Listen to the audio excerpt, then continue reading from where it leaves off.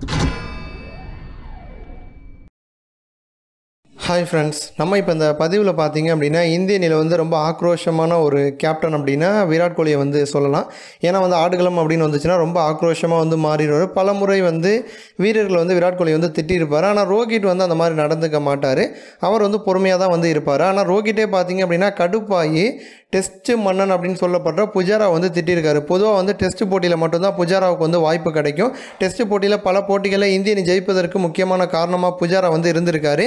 இந்த முறை பார்த்தீங்க அப்படின்னா புஜாராவை ரோஹித் வந்து கெட்ட வார்த்தையால் வந்து திட்டிருக்காரு அதற்கு காரணம் என்ன அப்படின்னா இந்திய அணி வந்து முதல் இன்னிங்ஸில் வந்து ரொம்ப அபாரமாக வந்து விளையாண்டுருப்பாங்க. ஐநூற்றி ரெண்டு ரன்கள் வந்து முதல் இன்னிங்ஸில் வந்து அடிச்சிருப்பாங்க. அடுத்து விளாண்ட தென்னாப்பிரிக்க அணி பார்த்தீங்க அப்படின்னா நானூற்றி முப்பத்தி ஒரு ரன்கள் வந்து எடுத்திருப்பாங்க. அது அதன் பிறகு வந்து இந்திய அணி வந்து ரெண்டாவது இன்னிங்ஸை வந்து தொடங்கியிருப்பாங்க. ரெண்டாவது இன்னிங்ஸில் பார்த்தீங்க அப்படின்னா இந்திய அணி வந்து விக்கெட்டும் விட்டுறக்கூடாது ரன்களும் அதிகமாக எடுக்கணும். அப்போ தான் தென்னாப்பிரிக்க அணிக்கு வந்து அதிகமான ஒரு டார்கெட் வைக்க முடியும். அந்த மாதிரி ஒரு சூழலில் முதல் இன்னிங்ஸை விட ரெண்டாவது இன்னிங்ஸில் ரோஹித் வந்து அதிரடி காமிச்சிட்டு இருந்தார். அப்போ வந்து பார்த்தீங்க அப்படின்னா புஜாரா வந்து ரொம்ப நிதானமான ஒரு ஆட்டத்தை வந்து கொடுத்துருப்பாரு.